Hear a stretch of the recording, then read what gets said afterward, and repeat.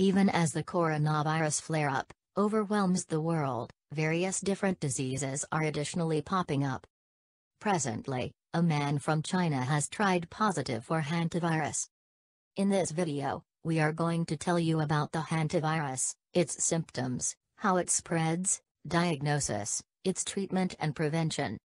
In May 1993, an outbreak of an unexplained pulmonary illness occurred in the southwestern United States, in an area shared by Arizona, New Mexico, Colorado and Utah known as the Four Corners. A young, physically fit Navajo man suffering from shortness of breath was rushed to a hospital in New Mexico and died very rapidly. Investigation found that the person was infected with hantavirus. Hantaviruses are a family of viruses spread mainly by rodents and can cause varied disease syndromes in people worldwide.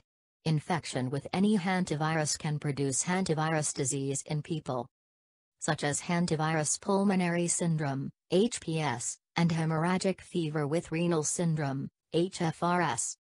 So how it is spread? Transmission. The virus spreads from rodents to humans if a person comes in direct contact with the urine, feces, and saliva of rodents. There are several other ways rodents may spread hantavirus to people. If a rodent with the virus bites someone, the virus may be spread to that person, but this type of transmission is rare. Scientists believe that people may be able to get the virus if they touch something that has been contaminated with rodent urine, droppings, or saliva, and then touch their nose or mouth. Scientists also suspect people can become sick if they eat food contaminated by urine, droppings, or saliva from an infected rodent.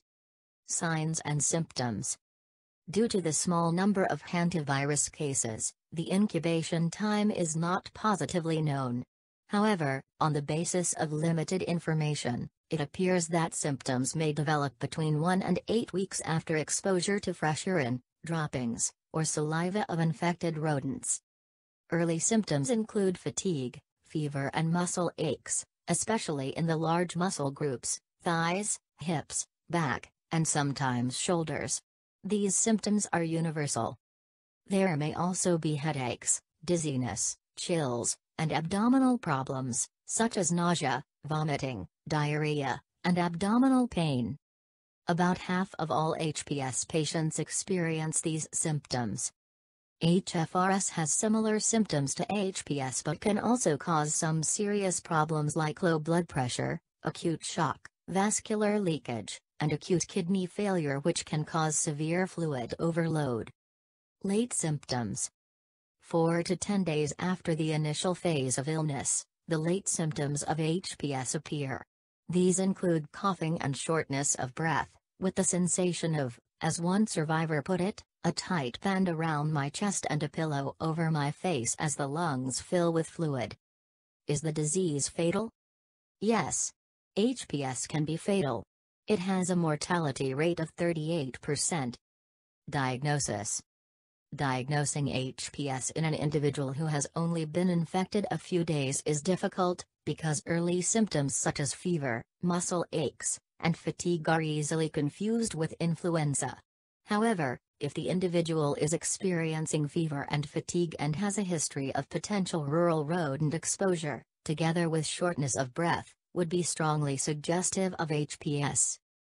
Patients are determined to have HFRS if they have serologic test results positive for hantavirus infection, evidence of hantavirus antigen in tissue by immunohistochemical staining and microscope examination, or evidence of hantavirus RNA sequences in blood or tissue.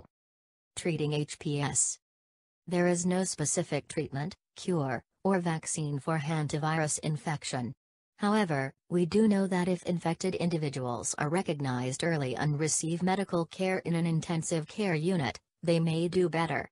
In intensive care, patients are intubated and given oxygen therapy to help them through the period of severe respiratory distress. For HFRS patient, care includes careful management of the patient's fluid, hydration, and electrolyte, for example, sodium, potassium, chloride, levels, maintenance of correct oxygen and blood pressure levels, and appropriate treatment of any secondary infections. Dialysis may be required to correct severe fluid overload. Intravenous ribavirin, an antiviral drug, has been shown to decrease illness and death associated with HFRS if used very early in the disease. Prevention Eliminate or minimize contact with rodents in your home, workplace, or campsite. If rodents don't find that where you are is a good place for them to be, then you're less likely to come into contact with them. Seal up holes and gaps in your home or garage. Place traps in and around your home to decrease rodent infestation. Clean up any easy to get food,